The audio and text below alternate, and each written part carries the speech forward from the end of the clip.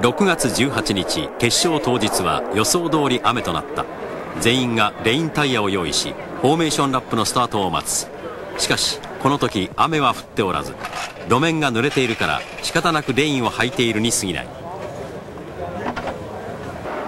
ウェットレースが宣告された。この先雨が強くなってもレース短縮はない。フォーメーションが終わりスタートを待つ。とこの時8番グリッドのカフィーが手を挙げた。スタート一時中断。再びカウントダウンが始まる。セッティングの手直しができる。メカが走った。朝のフリー走行でトップのタイムをマークしたマンセルは考えた。この先ドライコンディションになるんではないかな。事実路面も少しずつ乾き始めていた。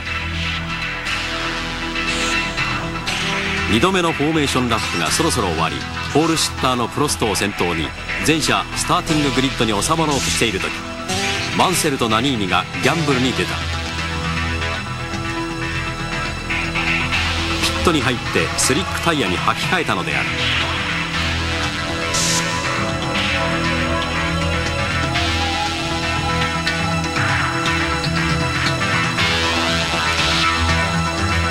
23台がグリッドにつく。マンセルはピットロードを行く。この時ピットロードの出口ではオフィシャルがコントロールしておらずレースがすでにスタートしたと錯覚したマンセルとナニーニがポールシッターより前にコースへ入ってしまった。グリーンフラッグが振られカナダグランプリはスタートしていくのであったさあシグナルが赤から青に変わる今カナダグランプリスタートを切りました。プロスが出ました。カブテリオに出ていった。その後ろセナ。さあそしてパトレーゼ。パトレーゼが続いています。コースはハーフドライハーフウェット。1周目は団子状態になって進んでいった。プロスト先頭セナが追った。パトレーゼベルガーブーセンと続いた。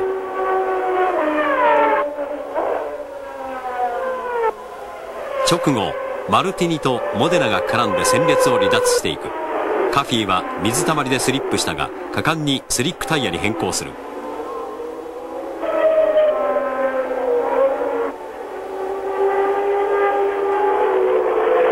1周目の終わりプロストがあっさり抜かれた。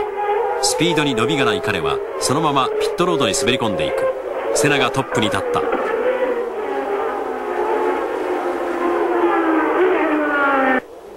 プロストはタイヤに異常を感じ取りパンクの疑いを持って入った。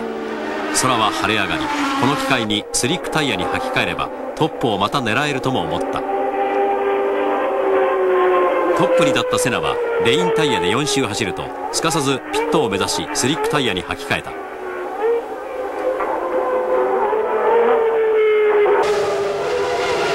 嵐を呼ぶ予感序盤から激しいタイヤをめぐっての駆け引きが始まった。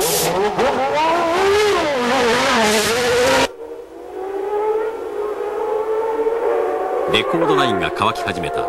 スタートするより前にスリックタイヤでコースに入ったマンセルがブーツェンを抜きにかかる。しかしその頃最低額だった。コントロールされていなかったとはいえ正式スタートより前にコースに出たマンセルは失格。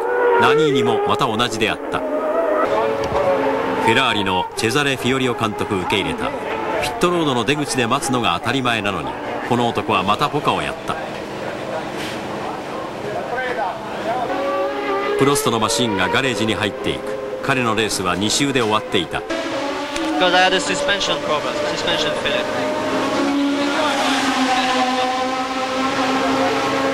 タイヤの不調ではなかった。サスペンションのピックアップポイントがモノコックから外れてしまった。緻密で名高いマクラーレンとしては珍しいエラー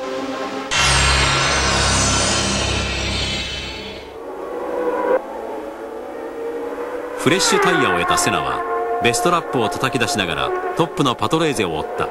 シャシーエンジンともに快調。フェニックスで起きたミスファイヤーも解決され無線アンテナの位置も変わっ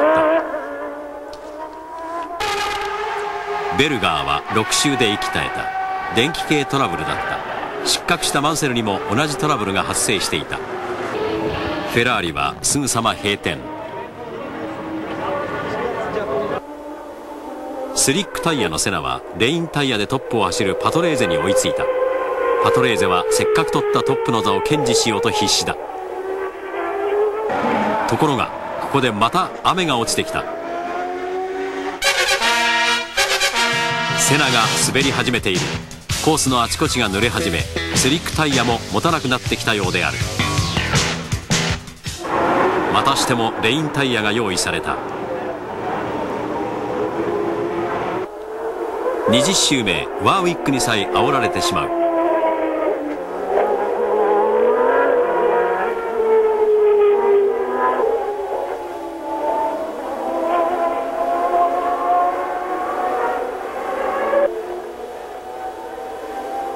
セナ21周目ピットインレインタイヤで戦線復帰。この時トップのパトレーゼとは54秒まで差が開いていた。猫の目のように変わる空模様。もはや土砂降りである。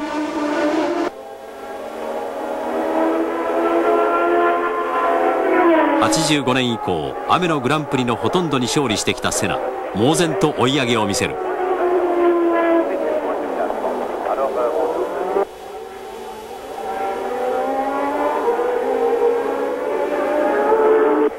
ブーツェンは実習でスリックに変え一気に10位まで落ちさらにスピンを演じもはや運も尽きたかと感じていた。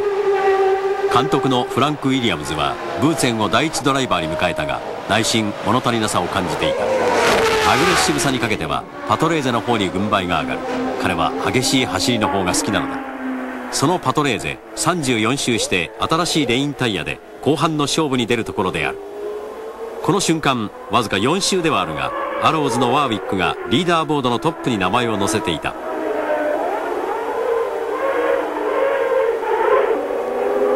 渋いイギリス人オーソドックスな走りの紳士ワーウィックをセナが捉えた。セナ39周からトップに立った。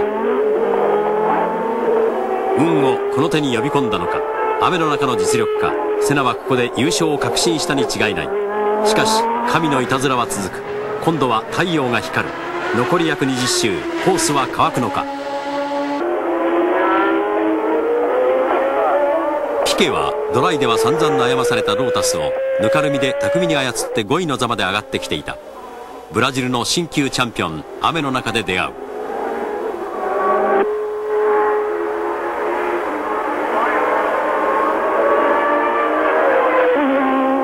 一旦月に見放されたブーツェンが追いついてきたのは63周目であった。フランク・ウィリアムズの気持ちを読み取ったかのようにチームメイトを見た瞬間ブーツェンは燃えた。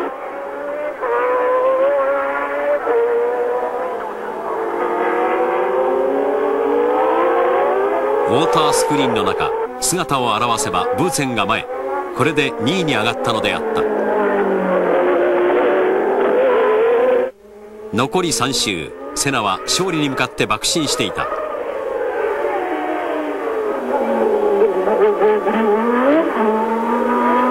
しかしピット前を通過した直後神はまたしても筋書きを変えた。おセナがおかしい。セナがおかしい。セナが芝生に入っていく。セラが止まるセラが止まる。セラスローダウン。あと一息でまさかのエンジンブロー。全く突然のストップ。レースは何が起こるかわからない見本のような結末である。頑強なホンダエンジン壊れる。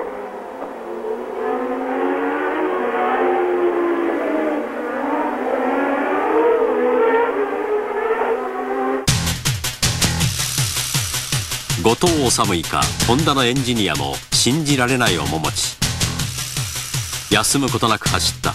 しかし止まることだってある。諦めて。また諦めきれずに振り返る。無念。残り3周。ポジション1のピットサインを見た時ブーツェンの頭はしびれてしまったという。グランプリ挑戦95戦目。デビュー7年目にして初めて優勝のチェッカーを受けた。優勝ティエリー・ブーツェンウィリアムズ・ルノー車椅子に乗った闘将フランクの顔。泣いているようでもあり信じられないようでもある。